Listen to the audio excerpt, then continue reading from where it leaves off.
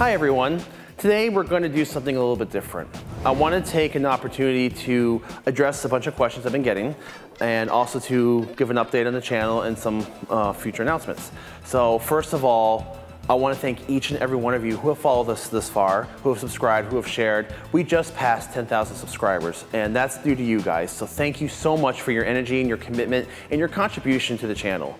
I also want to say that I get comments all the time from people who come up to me and say, wow, your community is really, really high quality. Let's face it, YouTube is not known for civil conversations. You look at a bunch of channels and the comments are full of trolls and they're negative and there's battling. You guys have been awesome. Thank you guys for being this quality audience. You help this channel grow. You inspire us to do more with it. And on that note, I want to address the most common question I get is, can you cover XYZ art? Now, we've been doing some of the history of and origin of uh, video series, which are getting great feedback. And honestly, they're a lot of fun to make because that gives us the opportunity to research other arts and learn things I never knew about or I knew about in some form, but you know, I expand on it and understand it better. So that's a great experience to work on. Unfortunately, they take a lot of work, so we can't crank them out as often as we would like to, at least not at this point.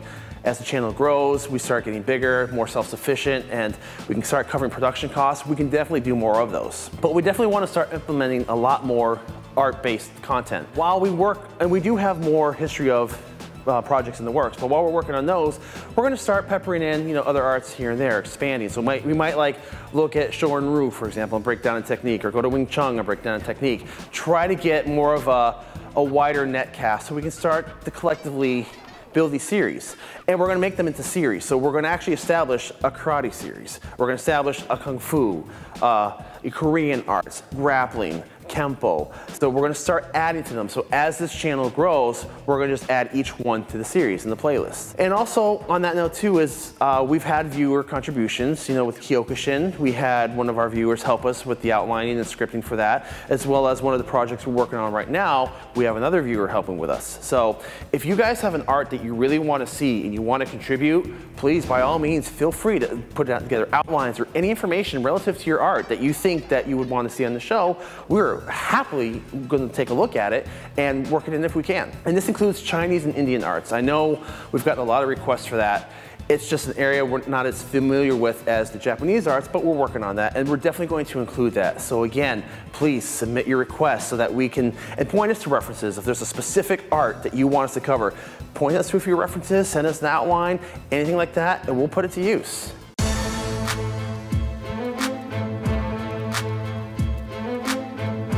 Another question I get is sometimes people ask me if I would do Kempo drills or Kempo lessons as episodes.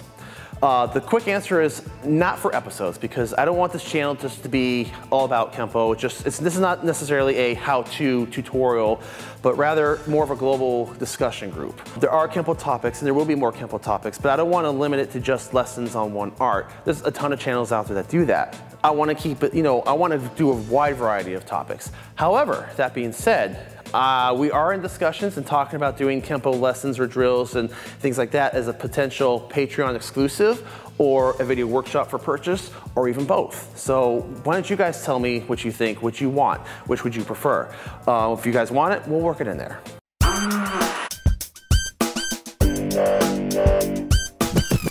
Inspiring offensive movement wise is I like the back fist. I like the quick snapping back fist. It's a good setup. You know, you, you, if you time it right, you can, you, especially if you get to jump on the opponent, it's great. It's a great setup. You can follow through.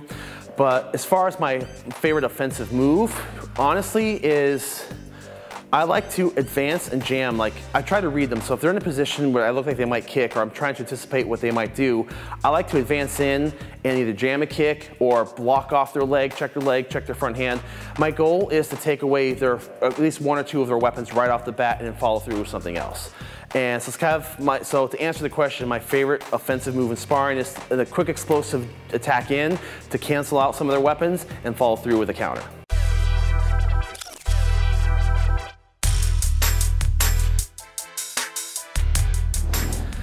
My answer to one person in particular was, first of all, to establish what do you mean by being bullied? Is this somebody who's just calling you names? Or, or, is this somebody really harming you, hurting you? Because there's a big difference. If it's just something more psychological and calling you names, you don't want to go learn an art to go and attack them with violence. That's, that's really not appropriate. But if you are in danger and being threatened, then yeah, that's a very real concern. So first of all, I want to start off by saying there's no single right answer because there's a lot of options here. But the key word here is quick. Now, there's a lot of arts that I love. And there's a lot of arts that I want to train in just because they're interesting. I think they could enhance what I've already learned. Maybe there's particular maneuvers I want to learn or something I want to sharpen. So you've got a lot of karate systems and kung fu systems that are great arts, but they take time and commitment to be good at it. You can't expect to go to a karate class and after a month be, be prepared to totally take anyone on. That's just not realistic. It takes time, it takes effort. A lot of systems like karate systems, especially Kyokushin, they're very power-based. So a smaller person might have a harder time or take longer to become efficient with that. If it's a person who's of smaller stature and you're getting picked on and you need to learn defense quickly, honestly, you're gonna want a couple different things. Speed is gonna be your, your friend. So look for an art that's gonna teach quick footwork, quick handwork. Something like boxing will be excellent for that. Something like Muay Thai, we even do some kicks in there, and you get your conditioning on it. You look at a lot of MMA fighters, a lot of them are small, but they are deadly. So you're gonna learn fast footwork and fast hand drills, and also you're going to want some sort of grappling in there as well because there's a good chance, you know, if you're getting into fights frequently, it's to go to the ground. You don't want to go to the ground immediately as, as a first response, but you want to be able to handle yourself if it does, especially if you're fighting a big guy. That's a good chance you guys are going to go down. In the context of, I need to learn defense quickly, you and I'm smaller, you want something that's going to be sparring and fight based focus, at least right off the bat. So I do recommend finding an MMA gym that teaches a striking art and grappling art, whether that be boxing or Muay Thai or Brazilian Jiu-Jitsu and Judo. Get, get that mix in there. And because you're gonna constantly, constantly, constantly stress test and get your hands on an opponent and you're gonna work it out. As far as the self-defense based art, you're gonna be able to build it up quickly. Now, of course, I would definitely recommend even later adding in other arts if you would like to learn other arts. There, there are good Kung Fu and karate systems as well that can complement. So again, it comes down to your, your basic need and your reason for it, but there's a lot of options. So I would definitely look around and best thing I always say is go try out a school, go take a look. You'll know if it's right for you. You'll, you'll feel that click going, ah, okay, this is what I need, or it's not. Take a look around for that.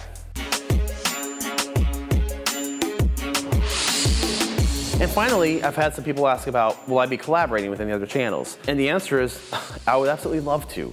You know, that's all part of the growth. The bigger we get, the more opportunities we're gonna have.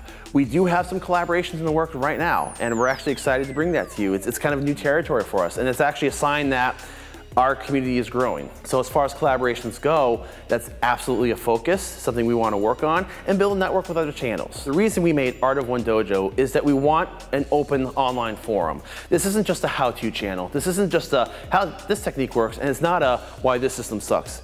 This is an open global community. We want your input. We want your feedback. We want you to share. This is a classroom for everyone. So we love to take all viewpoints into consideration, especially working with other channels because that shows us other perspectives. We want everybody to share. We want to take all these arts and bring it together into an art of one people so that we can focus and build a dojo for all. Thank you all so much for your support. Please continue to share this channel. Please share our videos, like, subscribe. We have a Patreon set up. We're, we're rolling out some shirts and other merchandise. Anything to support the channel grows us bigger, lets us do a whole lot more, and then we become even stronger and an even bigger community. So thank you for your efforts, and thank you for joining the dojo.